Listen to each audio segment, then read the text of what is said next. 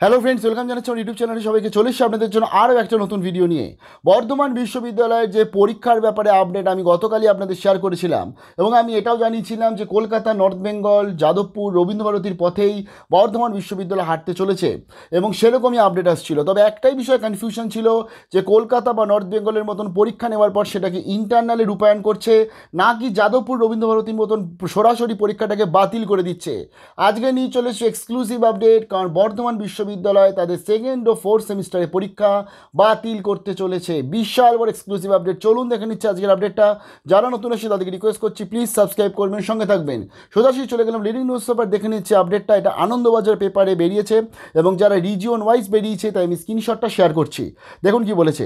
দ্বিতীয়, চতুর্থ সেমিস্টারে নিয়ে সিদ্ধান্ত, বর্ধমান বিশ্ববিদ্যালয় ইউজিসি নির্দেশ, লিখিত পরীক্ষা নয়। বিশ্ববিদ্যালয় মঞ্জুরি কমিশন নির্দেশ মেনে স্নাতক স্তরে ফাইনাল সেমিস্টারে লিখিত পরীক্ষা চলছে। কিন্তু ইউজিসি নির্দেশে অগ্রাহ্য করে কলেজগুলিতে স্নাতক স্তরের দ্বিতীয়, চতুর্থ সেমিস্টারের লিখিত পরীক্ষা বিশ্ববিদ্যালয় কর্তৃপক্ষ নেবে কি নেবে না এই নিয়ে ঝুলেছিল এতদিন। পড়ুয়ারা অসম্ভব দোলাচলে ছিল। শেষ পর্যন্ত মঙ্গলবার কর্তৃপক্ষ লিখিত পরীক্ষা না নেওয়ার সিদ্ধান্তে ঐক্যমত্যে পৌঁছেছেন বলে বিশ্ববিদ্যালয় সূত্রে খবর। তার ফলে রবীন্দ্রভারতী যাদবপুরের পথ অনুসরণ করল বর্ধমান বিশ্ববিদ্যালয় এবং আপনাদের কোনোরূপ লিখিত পরীক্ষা হচ্ছে না। ফাইনাল নোটিফিকেশন কবে আসবে সেটাও বলছি, এবং এটা কিন্তু শুধুমাত্র কলেজ অর্থাৎ ইউজির পিজির কিন্তু এখন অবধি ফাইনাল আপডেট আসেনি। বিশ্ববিদ্যালয় সূত্রে খবর, মঙ্গলবারই এই বিষয়ে একটি বৈঠক ছিল বর্ধমান বিশ্ববিদ্যালয়ে। সেখানে ইউজিসির নির্দেশ মেনে এই দুই সেমিস্টারে লিখিত পরীক্ষা না নেবার সিদ্ধান্ত নেওয়া হয়েছে। এক্সিকিউটিভ কাউন্সিলের বৈঠকের পরেই তাতে আনুষ্ঠানিক শিলমোহর পড়বে একথা স্বীকার করে নিয়েছে ইসির এক সদস্য মানে এখন হতে চলেছে এক্সিকিউটিভ কাউন্সিলের বৈঠক দেনই কিন্তু নোটিফিকেশন হিসাবে আপনারা দেখতে পাবেন এবং কলেজেও সেটা সার্কুলেট হয়ে যাবে। এই ডিসিশানটাই হতে চলেছে। নিশ্চিন্তে থাকুন সবাই। কবে হবে বৈঠক সেটাও বলছি। এই খবর শুনে বীরভূম জেলার বিভিন্ন কলেজের শিক্ষকদের প্রতিক্রিয়া, এই সিদ্ধান্ত আরও আগে নেওয়ার প্রয়োজন ছিল। জেলায় সরকারি, বেসরকারি মিলিয়ে বর্ধমান বিশ্ববিদ্যালয়ে মোট আঠেরোটি কলেজ রয়েছে। দ্বিতীয়, চতুর্থ সেমিস্টারে লিখিত পরীক্ষা হবে কি হবে না এই নিয়ে পরীক্ষার্থীরা চূড়ান্ত দোলাচলে ছিল। সিদ্ধান্ত আগে নিলে তাদের এত উদ্বিগ্ন হতো না। আপনারা জানেন নিশ্চয়ই যে এই ডিসিশন নিতে দেরি হয়েছে। ইভেন কালকের গৌরবঙ্গ বিশ্ববিদ্যালয় পরীক্ষা ঠিক তার একদিন আগে পোস্টপনমেন্ট করা হচ্ছে।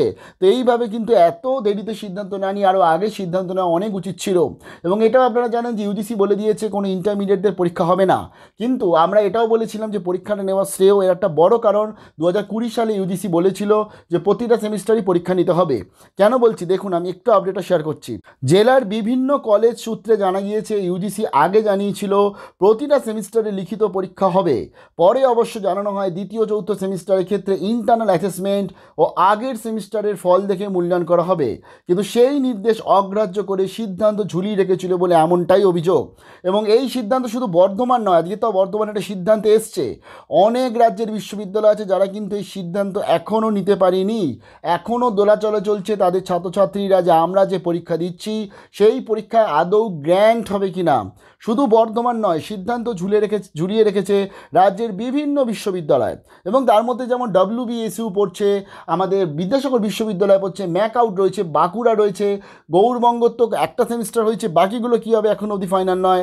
কোচবিহার পঞ্চানন মর্মা রয়েছে তো এরকম প্রচুর ইউনিভার্সিটি রয়েছে, কিন্তু যাদের এখন অবধি কোনো ডিসিশন সেরকম আসেনি। কাজী নজরুলও তার সাথে রয়েছে, কল্যাণী রয়েছে। কি কি বলছে? কিছু বিশ্ববিদ্যালয় অধীনস্থ কলেজ দ্বিতীয় চতুর্থ সেমিস্টারে দু একটি পরীক্ষা নিয়ে বিতর্কে জড়িয়েছিল বলে এমনটাও খবর আসছে। শেষ পর্যন্ত ইউজিসি নির্দেশে বিরুদ্ধচারণ করে বিতর্কের বা রাস্তা থেকে সরে দাঁড়াল বর্ধমান বিশ্ববিদ্যালয়, অর্থাৎ বর্ধমান ইউনিভার্সিটি ফাইনালি এই যে ইউজিসির এই যে বলে বক্তব্য স্টেটের একটা বক্তব্য, সেই দোলাচল থেকে কিন্তু সরে দাঁড়াল এবং বিরুদ্ধচারণ তারা না করল না। এটা খুব ভালো নিউজ একটা, ভালো আপডেট একটা। আলটিমেটলি ধরো তোমরা একটা পরীক্ষা দিলে, পরবর্তীতে সেটা আবার ইন্টারনালে রূপায়ণ হলো, তার থেকে ইউনিভার্সিটি একটা ডিসিশন নিল। যদিও ডিসিশনটা অনেক দেরিতে নিয়েছে, অনেক দেরিতে নিয়েছে ডিসিশনটা কিন্তু আরও আগে নিলে মনে হয় এতটাও অসুবিধার মধ্যে স্টুডেন্টরা পড়তো না। ষোলো তারিখ এই বিষয়ে ইসির বৈঠক রয়েছে, যেটা আমি বললাম তোমাদের, আবার বৈঠক রয়েছে ষোলো তারিখ, এবং সেই তারপরই কিন্তু ফাইনাল ডিসিশন আসছে এবং কলেজগুলিকে জানিয়ে দেওয়া হবে। এই ফাইনাল ডিসিশনই মোটামুটি চূড়ান্ত শিলমোহর পড়তে চলেছে। তাই তোমরা যারা সেকেন্ড ও ফোর্থ সেমিস্টার ছিলে, তারা পরবর্তী সেমিস্টারে প্রিপারেশন আস্তে আস্তে নিতে থাকো। যতক্ষণ অবধি অফিসিয়ালটা আসছে, ততক্ষণ অবধি একটু ওয়েট করে যাও।